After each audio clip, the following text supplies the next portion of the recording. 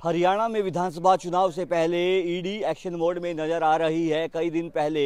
रावदान सिंह पर छापेमारी है, वो की गई तो अब सोनीपत से कांग्रेसी विधायक सुरेंद्र पवार को हिरासत में है, वो ले लिया गया है। यह बताया जा रहा है कि कल जब वो ईडी के दफ्तर में पेशी के लिए गए थे और उनके बाद उसे कोर्ट में जाना था तो वहीं से ईडी के अधिकारियों ने सुरेंद्र पवार को है, वो गिरफ़्तार किया और उसको पहले देर रात इसी का आवास पर है, जो सेक्टर पंद्रह में स्थित है, सुरेंद्र पवार का उसे यहाँ पर लाया गया और उसके बाद में उन्हें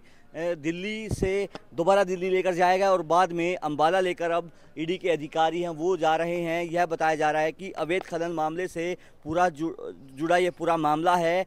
क्योंकि दिलबाग सिंह, जो कि पूरा विधायक हैं, इंडियन नेशनल लोक दल के, वो अवैध खनन से जुड़े थे और उनके पार्टनर है वो सुरेंद्र पवार हैं और उसी को देखते हुए ईडी ने एक मुकदमा है वो दर्ज किया था, जिसके बाद ईडी इस पूरे मामले की जाँच है, वो कर रही है। काफ़ी लंबे समय से शिकंजा कसने की तैयारी है, वो सुरेंद्र पवार पर है, वो की जा रही थी, लेकिन कुछ क्ल्यू है, वो ईडी के अधिकारियों को नहीं मिल रहे थे। जब पिछले दिनों सुरेंद्र पवार और दिलबाग सिंह के आवासों पर छापेमारी की गई थी तो दिलबाग सिंह के आवास से तो करोड़ों रुपए कैश बरामद है। वो ईडी के अधिकारियों को अवैध हथियारों के साथ बरामद हुआ था, लेकिन सुरेंद्र पवार के यहाँ पर कुछ कैश है, वो बरामद नहीं कर पाई थी, जिसके बाद ईडी के अधिकारी यहाँ से कुछ ज़रूरी कागजात है, वो अपने साथ ले गए थे, जिसका अध्ययन करने के बाद ईडी के अधिकारियों को कुछ अहम सबूत है। वो इस पूरे मामले में सुरेंद्र पवार के खिलाफ लगे हैं, जिसके बाद उनकी गिरफ्तारी है। वो यहाँ से